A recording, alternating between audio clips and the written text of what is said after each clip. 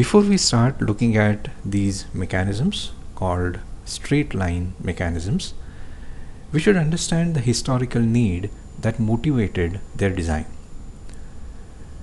James Watt had invented his steam engine and he needed to guide his piston along a straight path. But at that time, there was no technology which could create a long, truly straight guide to guide his pistons. So, in short, there were no prismatic pairs. So, all they had were pin joints eh, or revolute pairs, and using only those, they had to create a mechanism which would guide a point along a straight line. So there were two solutions or two classes of solutions. One was approximate and one was exact. We are going to start with the approximate straight line mechanisms. Here is one over here and most of these are going to be 4 bars with some special proportions. So we have 1, 2, 3 and 4 hinges or revolute pairs connecting these links and the coupler here has an extension on which our tracing point is situated. This mechanism had has some special proportions of course that these 1, 2, 3, 4 lengths are equal while these two lengths are in this proportion 1 is to half.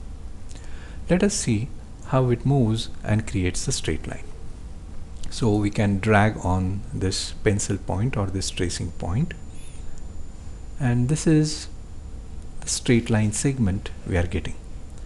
Although it might appear to be exactly straight, it is really not. It is only approximate and then of course it deviates from the path and creates a path like that and again it comes back to the approximate straight line. The next one was created by Chebyshev. Here are its proportions. So we have again a 4 bar 1, 2, 3 and the fixed link 4 with the proportions 2L, 5L, 4L and 5L again. And at the midpoint of the coupler we have the tracer. So we are going to drag on this and the pencil point over there, okay, let's zoom in, is tracing a straight line. Of course after this it starts deviating like that and again it can be brought back for the remaining straight line over here.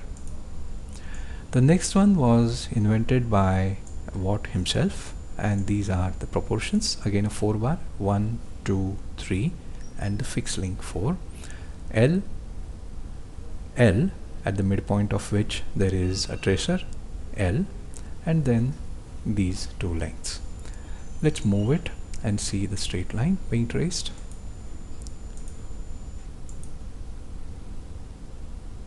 so this is a straight segment but there is one more in its path and that is over here. Straight segment. Here are a couple of more straight line mechanisms approximate straight line mechanisms. This one is called Scott Russell. Now it might look a little ridiculous because to get this mechanism we already have a prismatic pair. So if we can make a straight line guide why do we need this? But anyway this is of academic interest. So this is the way it creates a straight line. By the way this is the exact straight line mechanism.